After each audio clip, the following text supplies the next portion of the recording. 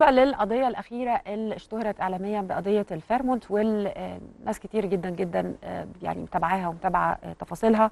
خلينا نقول إنه آخر حاجة صدرت من النيابة العامة بإنه النيابة العامة أمرت بحبس المتهم أمير زايد أربعة أيام على ذمة التحقيقات في واقعة التعدي على فتاة بفندق فيرمونت.